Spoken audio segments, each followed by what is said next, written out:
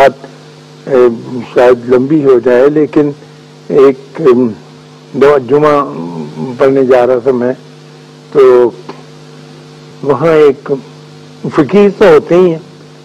तो एक कुत्ता था, पिल्ला, वो रेड़े की जद में आ गया तो घबरा गया बेचारा, और बहुत ज़्यादा चोट आ गई इसको।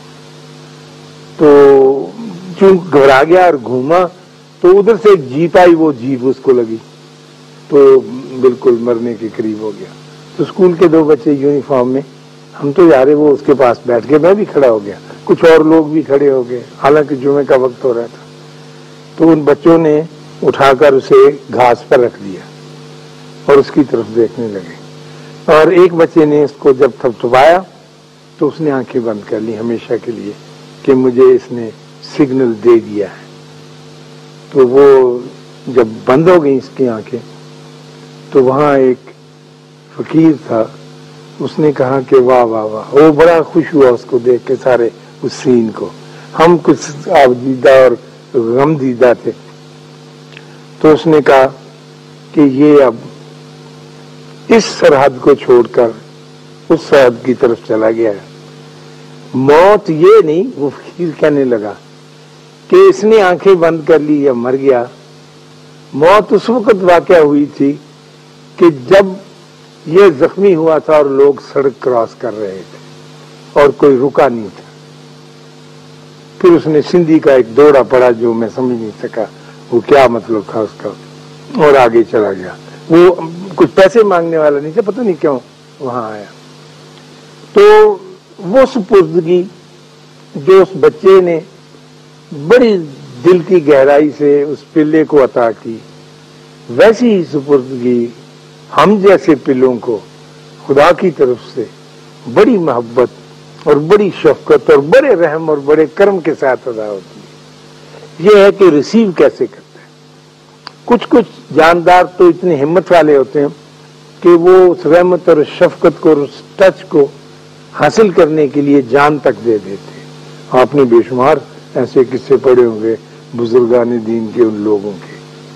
तो मैं ये अर्ज़ कर रहा था कि मेरा छोटा मुँह है, बड़ी बात है, और लेकिन इन तजुर्बात में से गुजरते हुए मैंने ये ज़रूर महसूस किया है कि अल्लाह की तरफ़ रुजू किया जाए और अपना सारा सामान उठा के अंदर का, जितना भी है, उसकी रोशनी में रख दिया जाए।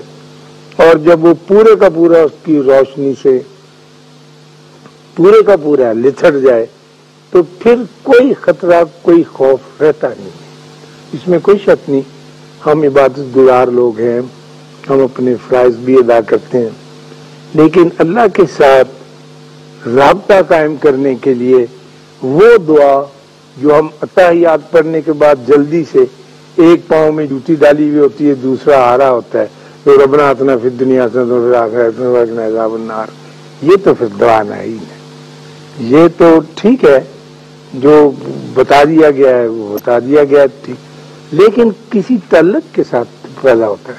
जब तक तल्लक नहीं पैदा होगा, आपने अक्सर सुना होगा कि जब तक बाबे के साथ, मुर्शद के साथ ताल्लुक न पैदा हो, उस वक्त तक वो चीज़ नहीं अता होती। इल्म कागज़ी जैसा मेरे पास है, किताबी इल्म है, वो तो मिल जाएगा।